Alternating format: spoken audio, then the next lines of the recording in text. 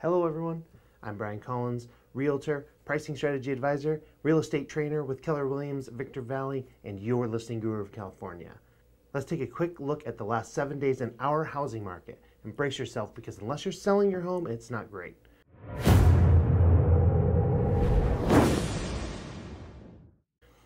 In the last seven days, we've had 150 new listings.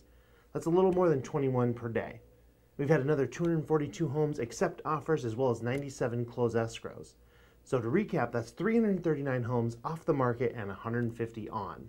That's a deficit of 189 homes. That's 27 per day. Inventory is dwindling, and if you're thinking of selling, call or text me at 760 694 5915 today, and I can get you top market value. If you're a buyer, you will need to be extra aggressive for the next few weeks with your offers. This lack of inventory is creating a super competitive market for you. So you want to make sure to have all your ducks in a row. I'll have more on that next week. You can subscribe on YouTube for the next video, Buying in a Seller's Market. I will see you all next Thursday for another market update. Bye.